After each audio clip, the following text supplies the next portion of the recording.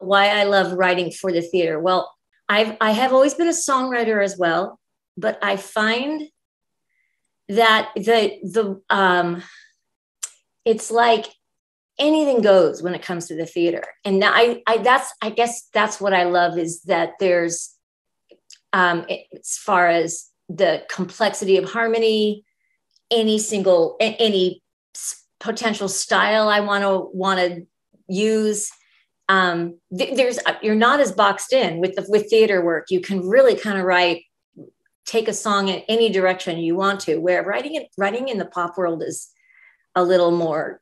Um, it's just a little more limited to me, and um, I love that there's it's I I could kind of use all my skills and you know in terms of harmony possibilities and also be so much so much more melody driven um, which is really important to me too. Um, the other thing is, I've loved the challenge of working with lyricists that just hand me a finished lyric, you know, for, of a scene, and I got to figure it out. I, it's at first it was petrifying. It's still a little petrifying every time I get a new lyric. Like, can I do this? I don't know. And then I've, I, you know, I just kind of keep at it, and it something always emerges. Um, it, it's just I just think that there's more complexity in theater that is the challenge of that is really gratifying and satisfying. So that's what why I love to write for the theater. Um, Jerusalem AD, my first show was like that too. So I had done that before, but it it is a larger. You're biting off a lot of a much bigger um, challenge to do something like that. You know, it, when it's just songs inside scenes connected by lots of dialogue. I don't know. There's that's everything's challenging, but I'm having to kind of musicalize everything. Um, and this was way more complex than Jerusalem AD too. Um, the, uh, it was a big. I, I will tell you the truth. Um, I feel like I, I knew it was going to be a challenge. I had no idea what a challenge it really was. And if I had known, maybe maybe I would have, you know, chickened out and said, let's just write it as a standard musical. But you know, we stuck, we we kind of came up with this idea together, Patricia and I, to turn this into more of like a rock opera. And um, and it was, you know, there were moments where we just thought, oh, just make this a scene. And then we thought, no, it's, you know, we've come this, we've come this far. It's it's all music wall to wall now. Why stop now? Um, it's anyway it's been such a so gratifying that we we stuck with our stuck to our guns about it. Um, i'm really proud of how it's come out. The theater experience is unique because you are going through the journey of these actors with them. It's um and and the and the purpose of music in a in a in theater is because the the emotion is so heightened you got to sing about it so you can imagine this. It's very there's a lot of heightened emotion in, in Paths of Catherine. It's um as because of that, because it's of it being so much music. But I mean, that's the thing. You're just you're just following along with the emotional journey of these of these characters so much more than um it, it's so much more visceral because you know you're you're watching a live journey that somebody is going through as opposed to seeing it just on a screen. I love the I I, I love these um, many musicals that that sh- that have music that goes against type of the actual show itself, like Spring Awakening. It's always been one of my favorite shows. I love you know the uptight world of you know turn of this turn of the 20th century, um, you know 19, 1900 ish um, uptight Germany and they and these kids singing just all this rebellious rock and roll stuff. You know, um, I loved I love Jesus Christ Superstar and all the um, the rock and roll influence in that sung through show. Um, obviously Hamilton. Um, I've studied that show so much too. So all of those shows, I would say those are the three shows stylistically that probably informed me and influenced me the most um, you know, I was as, as, I spoke before that we we just fit, thought this show might would be because of it just being scene after scene of just these three women. It was like, it was a challenge to think, how do we keep it spicy with with it only with only having three women? And you see that all and it's I, I begged many times to Patricia, let's have at least one guy in this in this cast, so he could play Peter and he could play uh, King Frederick back in Germany, and the, and this and the ambassador that Joanna is is you know um, getting close with to get all the spot all the secrets from, and you know that was my idea. I wanted to like I just felt we needed more people on stage, and Patricia was like, "No, we have to keep this. We're going to keep this three women. We're going to tell this story with just these three girls." And we did it. I'm really proud that we i she didn't i'm very happy she didn't uh, you know give in to give in to me. Um i feel like we told the story in an interesting way because of the fact that it's sung through. So everything and they all have their own little musical themes that keep kind of reoccurring. Um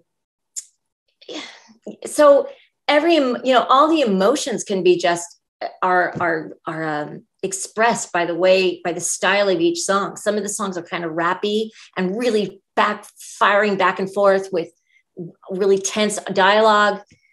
Um, some are really these sweeping you know big beautiful melodic um, songs.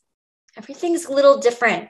We have like we have this what we call spy music that we use throughout the show. When joanna is just you know writing her letters you know, to King Frederick, trying to like pacify him, giving him information, and all of that. We've eh, we've got all these different styles of music that kind of feed into the emotion of that scene.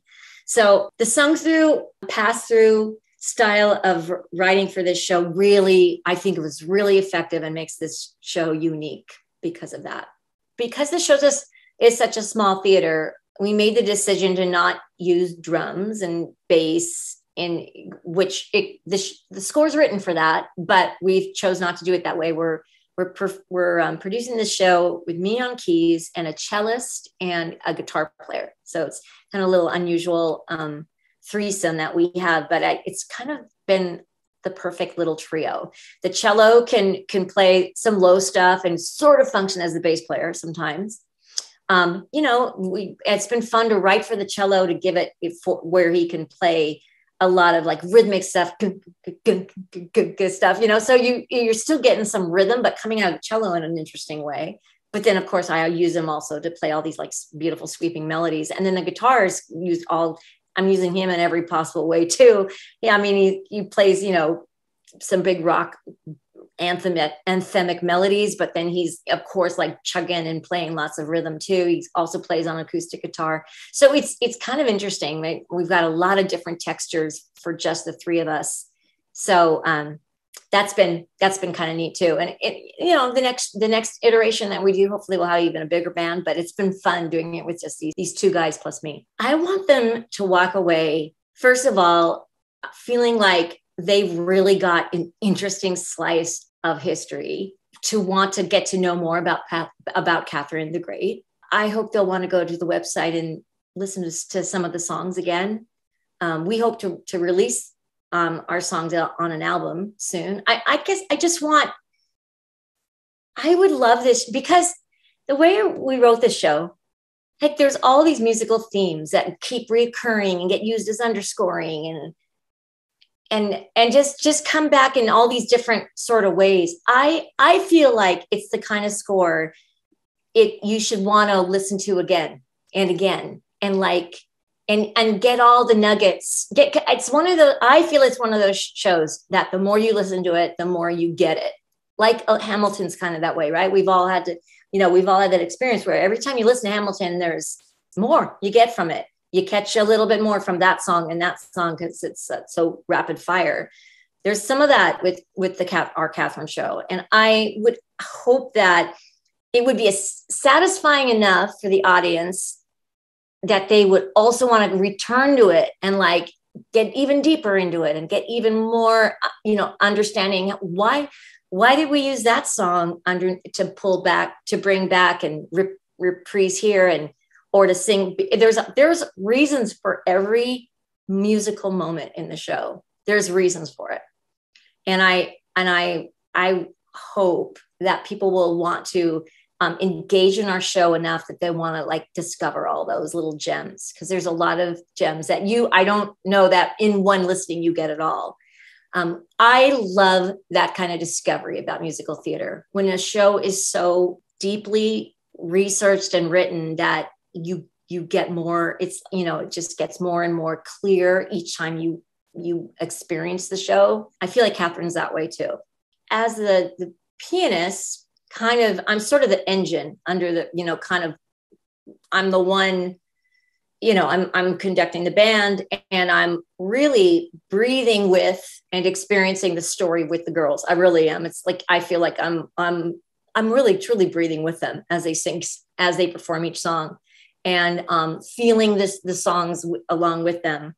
So as i'm doing that of course i'm also got one ear towards the audience and just trying to understand experience how they're you know listening to the for the audience's reaction.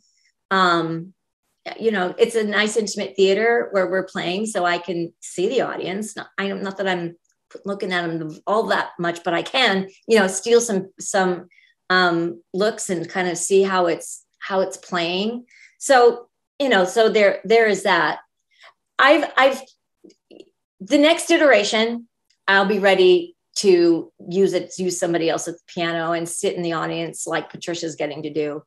There's just been so many little like uh, segue moments and it's you know moving from song to song that I have felt in my you know control freak way that I've had to still sit at the piano and make sure there everything is really massaged out and worked through before I was ready to turn it over to another pianist and let him or her, you know, lead the show. I, I just still needed to be at the piano for one more iteration. So that's what this has been. I am Jan Roper, the composer and the music director for The Path to Catherine. This is a 90 minute sung through, fast moving rock musical that's playing at the Brickhouse Theater in, in North Hollywood.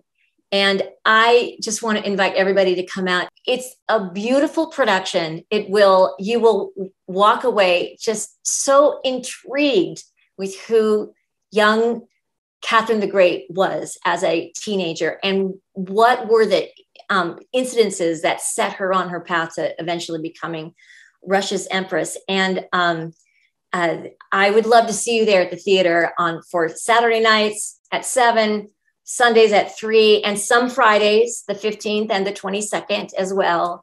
Please come and see the show. It's um, it's going to be it's challenging and it's beautiful and it's fun all at the same time. See you at the theater.